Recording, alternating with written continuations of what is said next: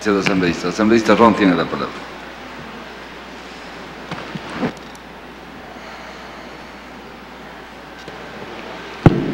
Gracias, señor presidente. Quiero empezar con el punto de orden que le había solicitado. Tenga uso de la palabra. Gracias. Me tuve que ausentar de la sala a comprar un café porque yo soy un hombre de cuerpo caliente, presidente, y aquí hace mucho frío. Lamentablemente no soy autoridad y no tengo quien me traiga el café, por lo tanto no estuve a su llamado. Ahora quiero empezar la parte formal de mi intervención. Y quiero empezar dirigiéndome a usted como presidente de la Asamblea Nacional Constituyente. Señor presidente, lo ocurrido ayer en la noche en los canales de televisión, créalo, es sucio, es artero. Que se haga una cadena nacional de la Asamblea Constituyente para sacar una Haga el favor sesgada. de ceñirse al tema. Feo. Respetuosamente estamos en debate constitucional. Usted puede decir eso en los medios de comunicación cuando quiera. Tiene toda la libertad. Presidente, hay que decirlo aquí, porque no está bien que se hagan esas cosas, porque se está utilizando dineros del pueblo ecuatoriano, de la Asamblea Constituyente. Lo que está bien, hay que decirlo cuando está bien. Y lo que está mal, hay que decirlo, presidente, nos guste o no nos guste. No es que no me gusta, sino que estamos en debate. Podemos Y vamos a continuar con el debate, y vamos a continuar con el debate constitucional, porque a eso hemos venido. De acuerdo. A eso hemos venido, a trabajar como lo hemos demostrado desde el primer día hace siete meses, con propuestas aquí y en las mesas, porque nosotros hemos venido a construir un proceso de cambio que es el anhelo del pueblo ecuatoriano y que espero, y que espero que no quede trunco una vez más, producto del radicalismo que no nos lleva absolutamente a nada. La democracia se tiene que construir con más democracia.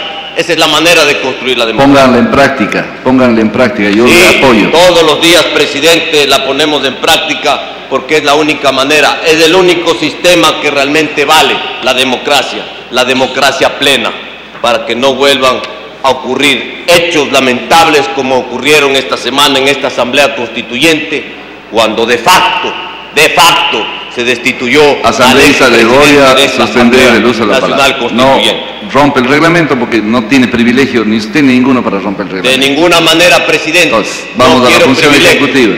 Vamos a la función justicia ejecutiva. e igualdad, que es lo que queremos todos los ecuatorianos. Justicia e igualdad, señor presidente. Me voy a referir al texto constitucional a un tema que es fundamental. Tenemos que definir si es que queremos un sistema y un régimen presidencialista.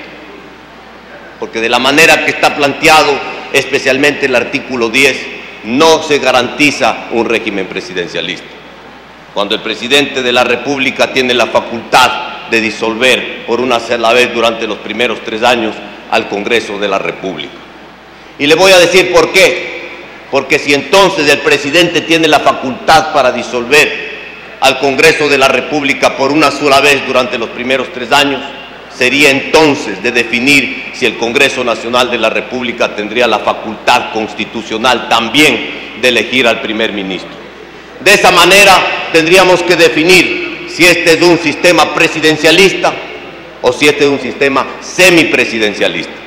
Pero no puede ser unilateral que únicamente el presidente de la República pueda disolver el Congreso y convocarse elecciones. Y mire usted lo que ocurriría en el país cuando todos lo que queremos es que haya estabilidad política en el Ecuador. Eso es lo que necesitamos en el Ecuador, que haya tolerancia, que es la que no hay el día de hoy, para que podamos escucharnos los unos y los otros, para que esa tolerancia venga desde el ejemplo del primer mandatario y no aquí en el Ecuador únicamente se escuche a las mayorías y no a las minorías. Y mire usted lo que ocurre aquí en este texto cuando al final establece, y voy a poner el ejemplo, suponiendo que a los tres años ocurre esto, se tiene que convocar a elecciones presidenciales y de diputados por el resto del periodo. Es decir, que durante un año tendríamos un nuevo presidente y un nuevo Congreso. Y al final del periodo de los cuatro años, nuevamente el Ecuador tendría que estar inmerso en un proceso eleccionario de campaña. Eso es lo que hay que evitar. El Ecuador necesita estabilidad, no se puede estar de proceso en proceso electoral, no se puede estar eligiendo a cada rato presidente y diputados, no se puede estar cambiando presidentes a cada rato. El país necesita ser tolerante. El presidente de la República, el señor Rafael Correa, fue elegido por el pueblo ecuatoriano para cuatro años. Y nos guste o no nos guste, tiene que terminar los cuatro años. Porque esa es la democracia. Esa es la tolerancia. Eso es lo que el pueblo ecuatoriano espera, de que el Ecuador aprenda esas duras lecciones del pasado y no vuelvan a ocurrir hechos lamentables de la democracia, porque no ha sido democracia. Por eso yo insisto que en este foro de la democracia hablemos de democracia. Y la democracia es escucharnos. La democracia es ser equitativos. La democracia no es sesgo no es la ley del embudo. Para unos sí, para otros no. Para unos no hay publicidad, para otros sí hay publicidad. Para unos se les ataca públicamente en cadena nacional como anoche, a otros no se les dice nada. No, señor presidente, eso no se puede hacer.